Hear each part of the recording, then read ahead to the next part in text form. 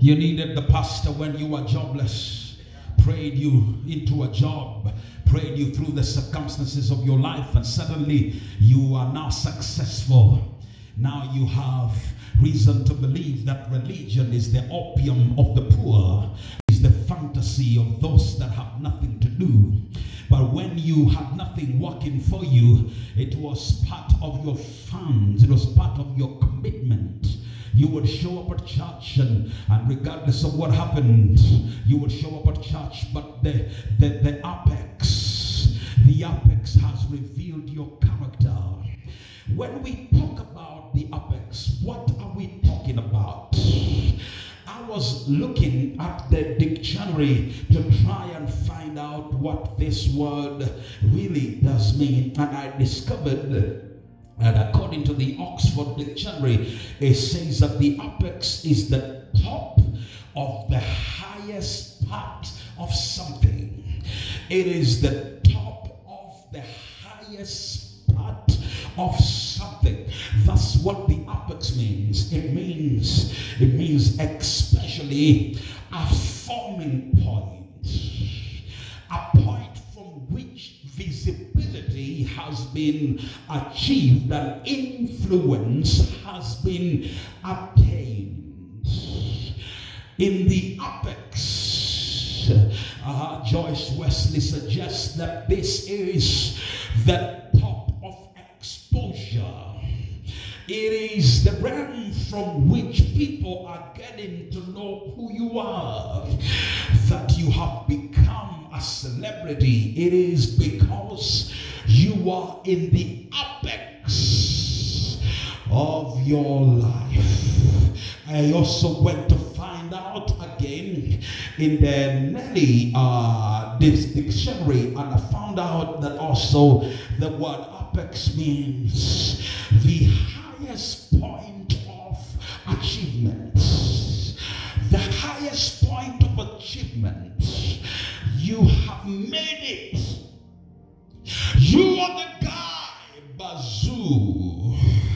Wewe ndio bazenga. You have made it. There is no argument about your success. Tunakujua. You are doing well. When your car passes, we know it is you. It is the apex of your life. You have risen through the ranks of your company. You know, you got in there maybe as a tea girl and you have risen and risen and gone up through the ranks. Now you have things like disturbance allowance.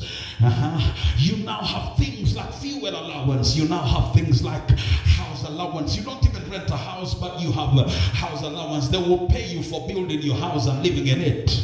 You are at the apex, at the top of your apex. You are at the highest point of your achievement, and I have discovered suddenly if I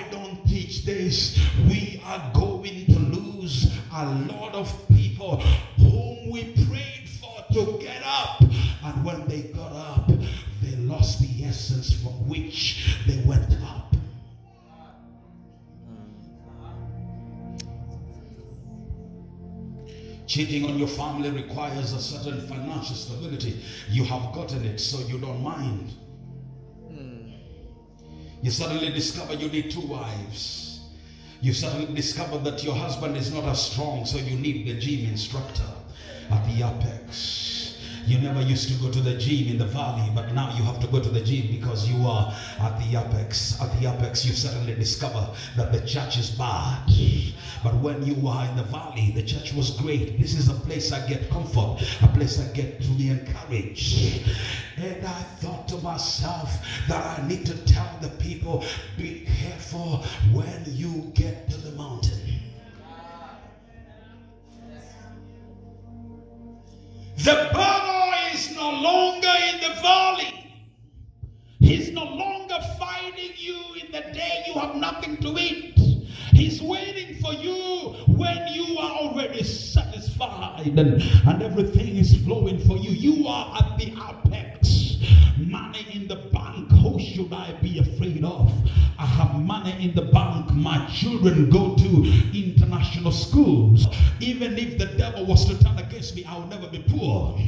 I was mesmerized at some of the quotes we mentioned.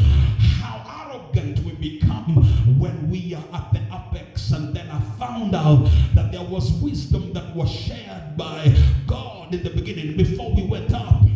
He so that, that it can become an instruction from which we draw our wisdom so that we do not fall back into the very thing. When he spoke in the book of Proverbs, chapter 16, verse 18, he said to us, Pride goes before a fall. The apex is a place of pride. From a Vitz to a V8. You have status. Now the watchman at the gate in church must open when they see you from the corner. I don't want to wait at the gate. Do you know who I am? If the picky pickies guy scratch your car a little bit, you ask them, Who is your father? Do you know what car this is? It is at the apex.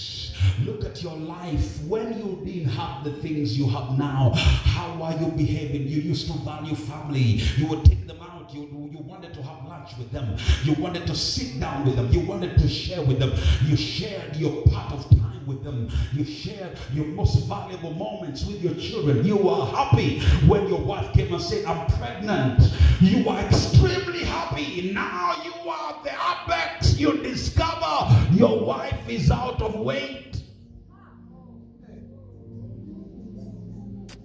Now need a figure six. Mm. in the apex. When you didn't have a car, you went to the village once two months. Now we don't see you in church because you have to take the Subaru to the weekend every weekend.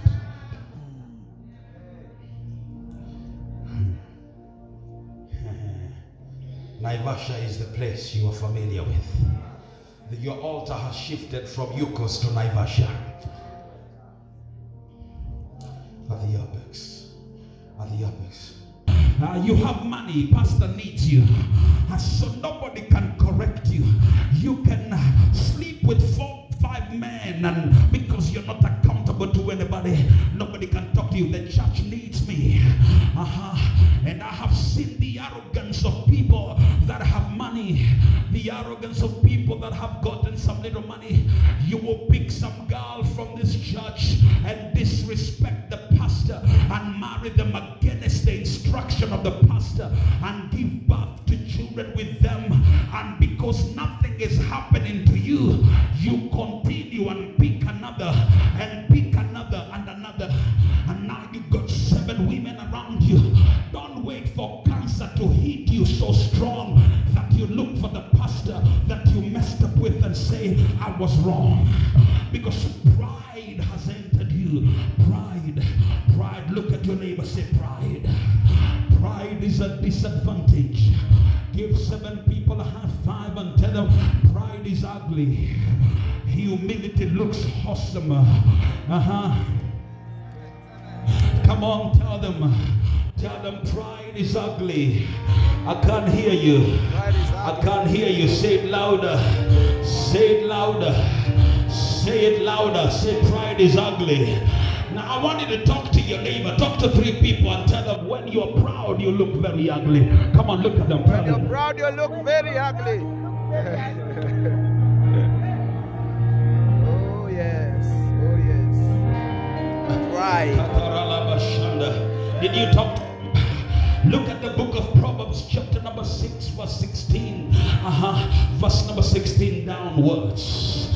Proverbs chapter 6, verse 16 downwards. The same translation of the scripture. Uh-huh. Pride is ugly. Pride repels God. Pride takes God's face off you when you become proud. Look at this. There are six things what? I can't hear you. The Lord can actually hate you. Look at your neighbor and them when people hate you, you can run to God. But when God hates you, you have nowhere to run to. Preach a Bible, preach. Preach it like you feel it. There are six things that the Lord hates, seven that detestable to Him. Verse number 17, He says, What? Howdy eyes. Uh-huh. Come on, somebody. Howdy eyes. And, then what? A lion tongue. Uh-huh. Hands that shade innocent blood. Come on, somebody. A heart that devises wicked schemes. Uh-huh. Feet that quick to rush into evil.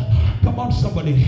A false witness who pours out And a person who stirs up conflict in the community. Come on, keep going. A son, my son, keep your father's command and do not forsake your mother's teaching. I want you to go back and give me the King James Version. Give me the King James Version. The things that the Lord hates. There are six things that the Lord hates. There are six things that the Lord hates. Yea, seven are an abomination to him. Come on, look at this. Then he goes to the next verse. He says, What?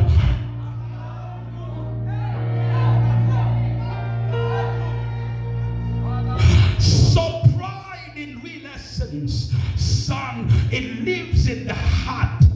Pride lives in the heart. But then when pride leaves your heart and shows off on your look, that pride is in another level. God says, I hate it. I hate it. And I don't care how many bodyguards you have. I hate it. I hate a proud look. And when you begin to develop pride inside of you, you don't see when your flight is going down. You actually don't land immediately. The demotion of God doesn't come instant. The demotion of God comes slowly. The doctor says you have a, a hole in the heart. That is God dealing with your pride. Uh-huh. You have a hole in your heart. We had a certain rich man in this country that was sleeping with everything he would come across.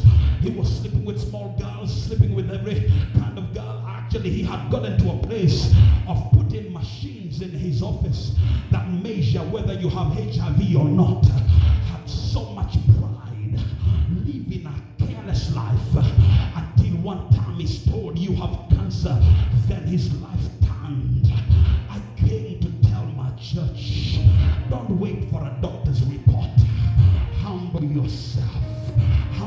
yourself.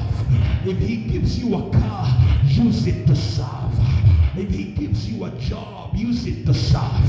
If he gives you money, use it to serve. Can I preach in this house? Humble yourself. Don't wait for poverty to humble you. Humble yourself. Don't wait to go to the valley to humble you. Humble yourself. You can have 40 million in the bank and still come for prayer. Humble yourself.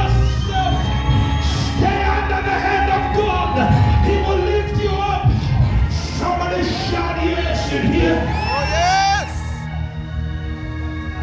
Woo! Hey! Yeah! Online church. Tag somebody there. Tell them humble yourself. You are on the apex. Humble yourself. God help a Babu. Humble yourself. Humble yourself. Humble yourself. Humble yourself. People's heads. Don't urinate on people's heads. Humble yourself. Drive your Bentley to church and humble yourself. Get all you can get and humble yourself.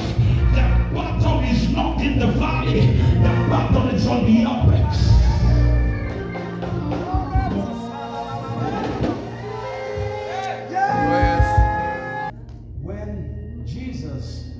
Valley after 40 days of prayer and fasting, the battle, the tempter, tempted him with bread. He said, Turn these stones to bread. When he took him to the hill, the battle was about worship. Oh, yeah.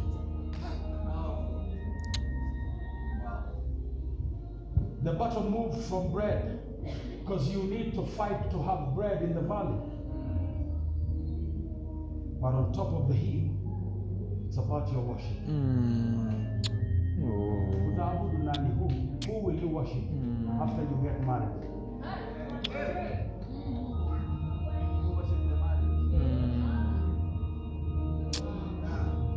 Who will you worship after your business speaks? After your church grows? Who will you worship? In the valley, the battle was about bread. On the apex, the battle was about worship. Tithing is not a low thing, it's a worship thing. Abraham did not tithe to Melchizedek as a law. There was no law of Melchizedek. He tithed as an act of worship, Mm. gratitude to God. But on the hill, at the apex, He's after your worship. And you cannot be proud and worship at the same time. Oh. Yeah, I said it. Yes, I have said it right on your faces. You cannot be proud and worship at the same time.